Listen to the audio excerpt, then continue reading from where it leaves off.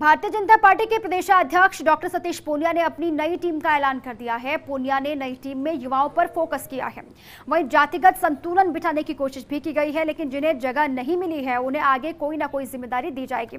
उन्होंने खुद की टीम के लोगों को ज़्यादा तवज्जो नहीं देने पर भी प्रतिक्रिया दी है। लंबा इंतज़ार था कि डॉक्टर सतीश पूनिया की नई टीम की घोषणा कब होगी। कार्यकारिणी सामने है कई चेहरे हैं जिन्होंने चौंकाया भी है और बैलेंस करने की कोशिश की गई है। इस पूरी टीम में खास क्या चीज़ है जो आप कार्यकर्ताओं से कहना चाहेंगे कि ये चीज़ स्पेशल है?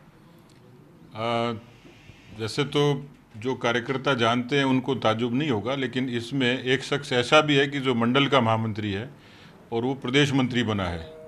हमारे यहाँ दूसरे दलों की तरह भरमार नहीं होती बहुत लिमिटेड सी जगह होती है और उसमें जगह पाना उनहत्तर लाख कार्यकर्ताओं में मैं मानता हूँ कि बड़ी बात है। इसलिए ऐसे लोग हैं जो उम्र के हिसाब से भी बहुत ऊर्जावान भी हैं और जिनका बहुत प्रदेश स्तर का अनुभव नहीं है, लेकिन उनको हमने अवसर दिया और यही चीज़ें इस कार्यकारिणी को थोड़ा अलग बनाती हैं। इस टीम में एक चीज़ और देखी गई है। यहाँ पर दो महिलाओं को लिया गया है, दो दलित महिलाओं को खास तौर पर। महिला तो हैं और भी, लेकिन दो दलित महिलाओं पर फोकस है, एक युवा और एक वरिष्ठ माना जा सकता है। तो ऐसे ही मदन दिलावर हैं, जितेंद्र गोठवाल है, महेंद्र जाटव भी उसमें शामिल है। दलित चेहरे जो हैं, वो उनको भी बहुत अच्छी जगह दी गई।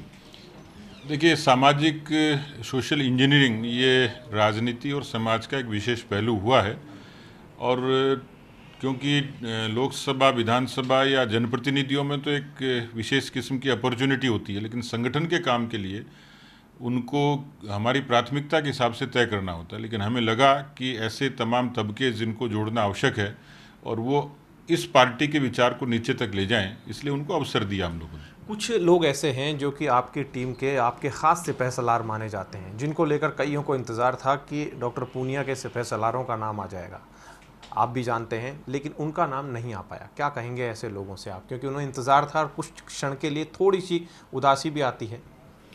देखिए, मेरे जहाँ तक प्रश्न है, मैं पार्टी में युवा मोर्चा का महामंत्री, फिर अध्यक्ष और फिर चार बार महामंत्री, और उससे पहले विद्यार्थी परिषद के दस साल का अनुभव। तो मेरा चूल्हे तक संपर्क है, इसलिए अपेक्षा स्वाभाविक है, लेकिन मैं अपने लोगों को ही बनाता तो मैं पार्टी में संदेश नहीं दे सकता था। लेकिन जो मेरे अपने योग्य हैं, क्षमतावान हैं जिनको मेरे प्रति अनुराग और पार्टी के प्रति निष्ठा है तो उनको निश्चित रूप से कहीं ना कहीं सम्मानजनक जगह मिलेगी मैं इतना कह सकता हूँ।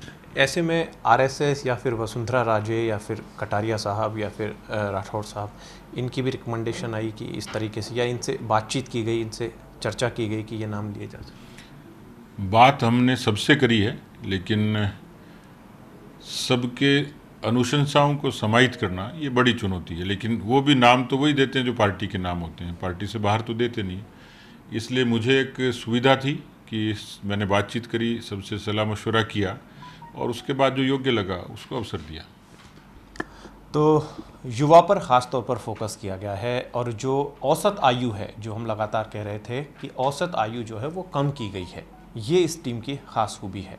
हालाँकि फ़र्स्ट इंडिया न्यूज़ ने कई नामों को लेकर पहले भी संकेत दिए थे, जो कि लगातार एक्टिव थे पार्टी कार्यालय। में कैमरा पर्सन सोनू देवंदा के साथ Aishwarya Pradhan, first India news, Jaipur.